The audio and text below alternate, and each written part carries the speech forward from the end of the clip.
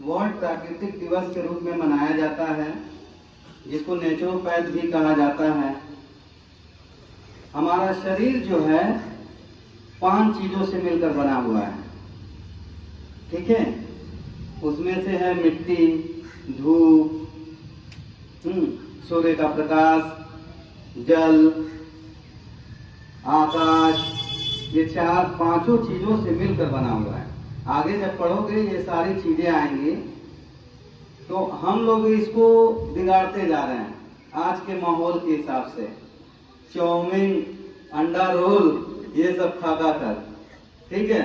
ये सारे जितने फ्राई करके खाने वाले चीज़ हैं, हम लोगों को शरीर को नुकसान पहुंचाते हैं। लेकिन हम लोग को वही अच्छा लगता है।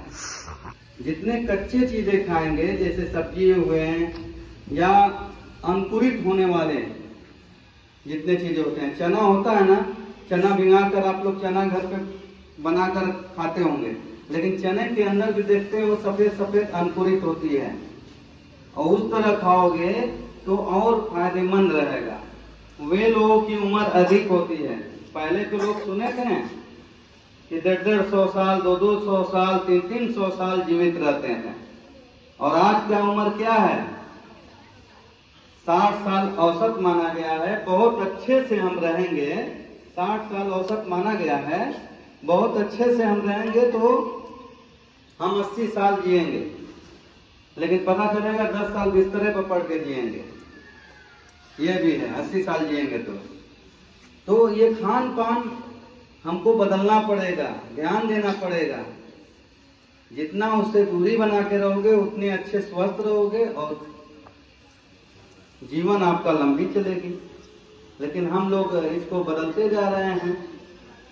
तो आज जो है 18 नवंबर प्राकृतिक दिवस के रूप में मनाया जाता है। इसलिए ये बताया गया है, योगा करो, योग करो, स्वस्थ रहो। योग से मतलब है, अगर आप नमाज़ भी पढ़ते हो तो एक एक्सरसाइज हो जा रही है। सुबह का उठना समझिए अपने शरीर को स्वस्थ करना, यानी सूर्य की किरण से पहले उठ जाना। सुबह का मतलब कुछ लोगों का नौ बजे भी सुबह होता है। वो नहीं, सूर्य की किरण निकलने से पहले उठ जाना, ठीक है? तो